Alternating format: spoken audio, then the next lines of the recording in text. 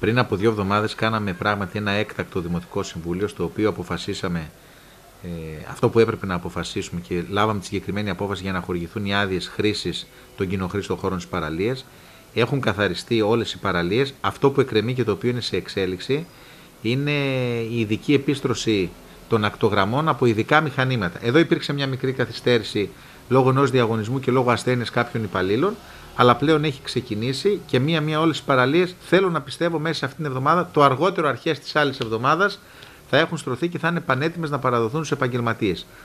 Είχαμε εδώ πράγματι μια μικρή καθυστέρηση. Βέβαια, ήμασταν λίγο τυχεροί γιατί ο καιρός και το προηγούμενο Σαββατοκύριακο και αυτό δεν ήταν ο ιδανικός. Αυτό βέβαια δεν είναι δικαιολογία. Άρα από μέρα σε μέρα θα είναι εντελώς έτοιμες οι παραλίες για να υποδεχτούν ξένους και ντόπιους τουρίστες.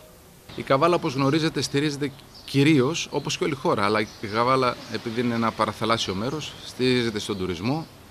Άρα σημαίνει ότι όλοι οι επαγγελματίες ε, κάνουν μια έγκαιρη προετοιμασία ώστε να μπορέσουν να λειτουργήσουν. Βέβαια, θα μου πείτε τώρα τα τελευταία χρόνια λόγω πανδημίας υπήρχε μια έτσι, δυσκολία και δυσλειτουργία. Όμως μέσα από αυτές τις συνθήκες και οι καβαλιώτες, όπως όλοι οι Έλληνες, βρήκαν εκείνη την δύναμη να αντλήσουν τη δύναμη για να μπορέσουν να ανταπεξέλθουν στα σημερινά δεδομένα.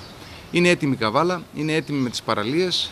Ε, θα είμαστε έτοιμοι και με τους ναυαγοσώστες, γιατί είναι πολύ σημαντικό να παρέχει σωστές υπηρεσίες και με ασφάλεια για τους επισκέπτες. Και για τους πολίτες, τους καβαλιώτες και για τους επισκέπτες. Είτε είναι ξένοι, είτε είναι δραμηνοί, είτε είναι από Ξάνθη, είτε είναι από τα Βαλκάνια.